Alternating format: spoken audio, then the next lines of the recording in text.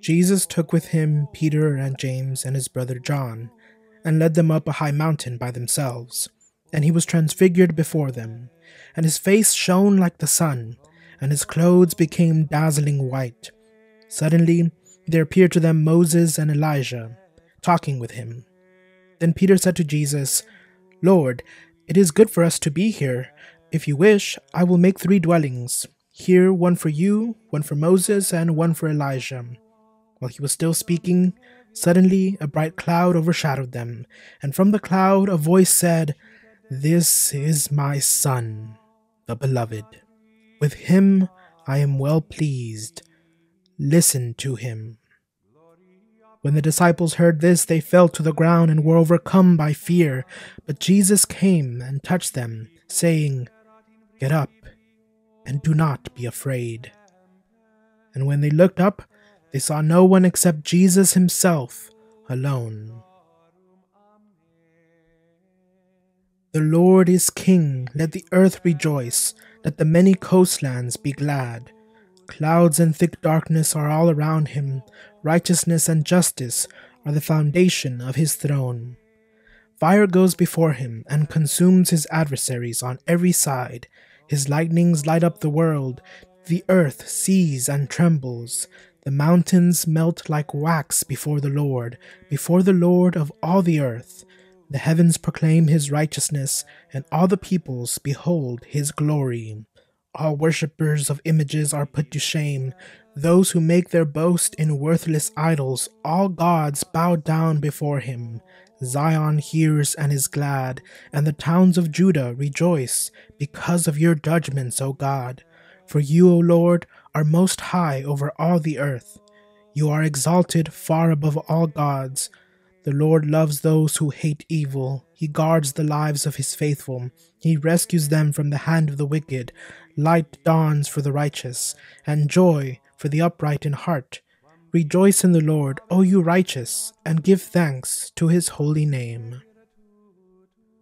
For a shining moment, Jesus disclosed to his chosen apostles his divine glory. Peter had already confessed by faith that Jesus was the Christ, the Son of the living God.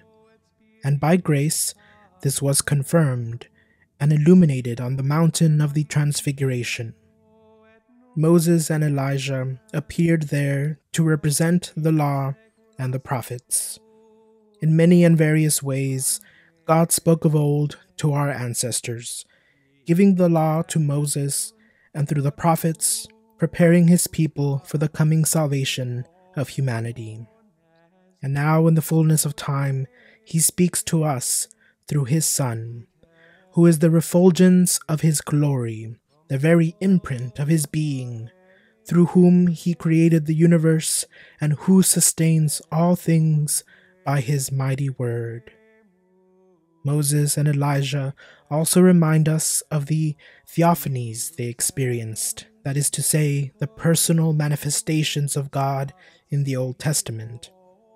For Moses, God's presence was often accompanied by thunderous sounds, and for Elijah, a gentle whisper.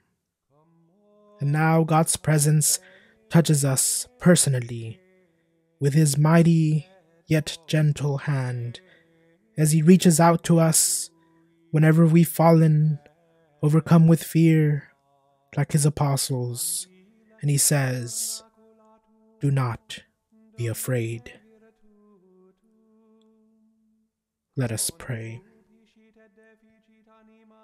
Saints Peter, James, and John, chosen apostles of Christ, who beheld his glory on the mountain, illuminate our prayer lives and teach us how to cultivate a closer relationship with Christ, that we may pursue all holiness in this life and behold his glory wherever he manifests it, from the thunderous sounds to the quiet whispers in our lives. And when we fall down with fear, let us look up and see our God and Savior, Jesus Christ. Amen.